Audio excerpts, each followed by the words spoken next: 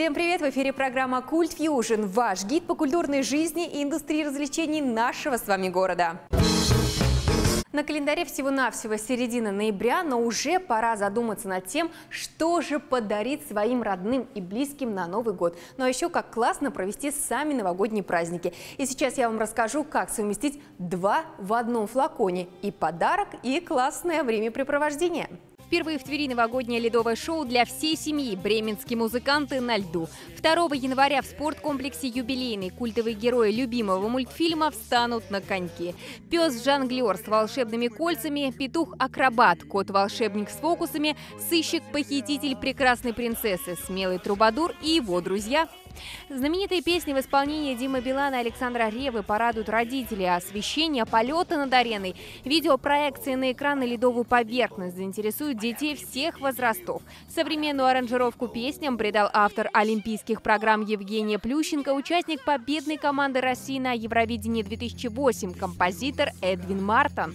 Билет на шоу может стать хорошим подарком на Новый год. Организаторы советуют приобретать их уже сейчас. Шоу будет гасить в Твери всего один день и количество ограничено. Места продажи билетов на сайте interfest.org и во всех кассах «Концерт Тверь» и «Кассир.ру». А сейчас занавес открывается. На арене Тверского цирка продолжаются гастроли уникальной космической шоу-программы «Звездный круиз».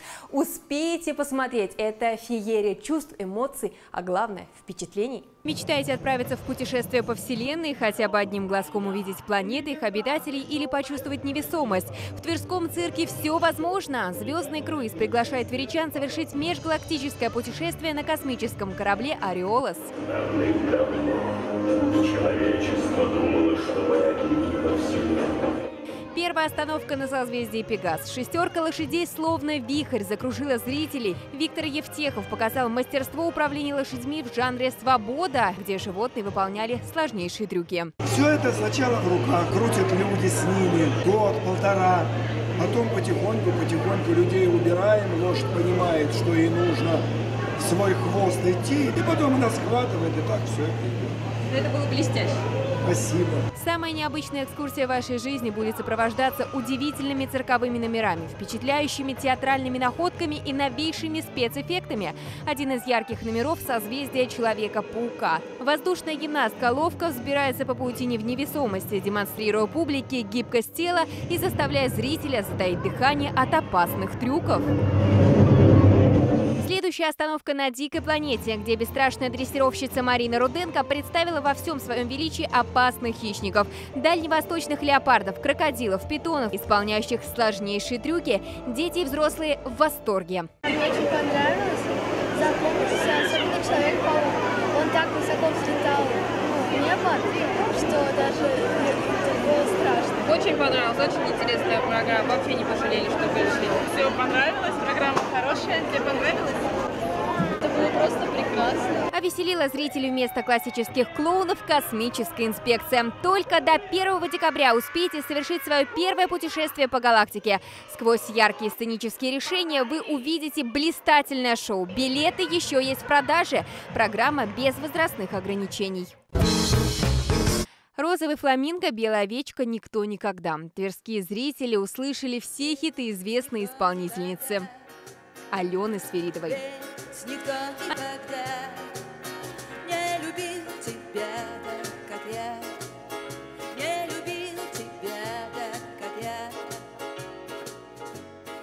Она выступала вместе со своей группой, причем не только в качестве солистки. Как выяснилось, звезда нашей эстрады великолепно владеет и музыкальными инструментами, причем и не одним.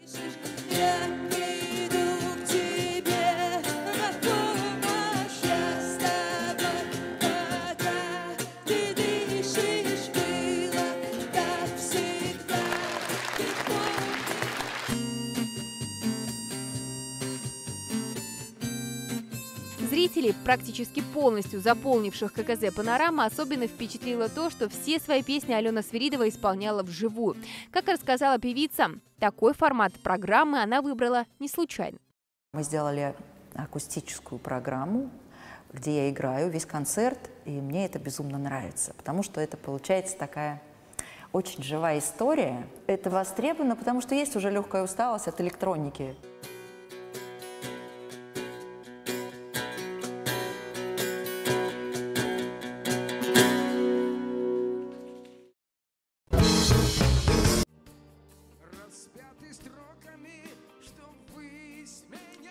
50 лет на сцене. За плечами известного поэта, композитора и певца огромное число песен, концертов, гастролей. Полувековой юбилей он решил отметить со своими поклонниками, организовав грандиозный тур с группой «Эскадрон. Жить так жить».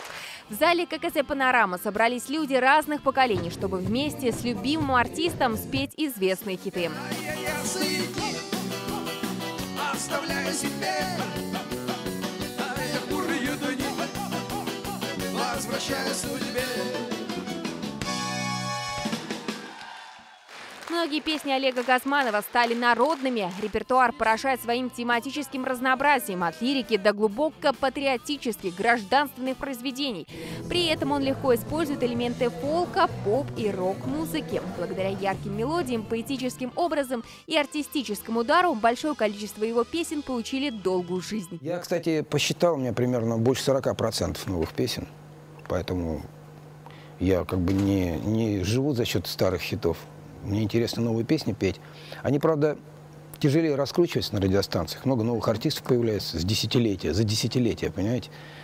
И это нор- нормально, это все. Но на концертах, как бы я вижу, если вот я вижу, что старые песни не, не годятся по сравнению с, там, со, вернее, не старые песни, а новые песни не годятся по сравнению со старыми хитами. Я их просто не пою. Поэтому я так из новых альбомов выбираю некоторые песни, которые хорошо проходят на концертах.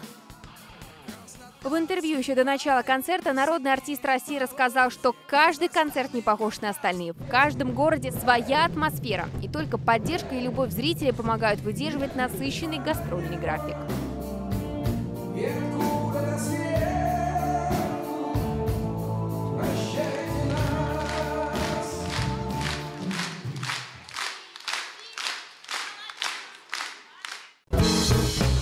На этом пока вся информация. Мы с вами увидимся в следующей программе. Не пропустите. Пока-пока.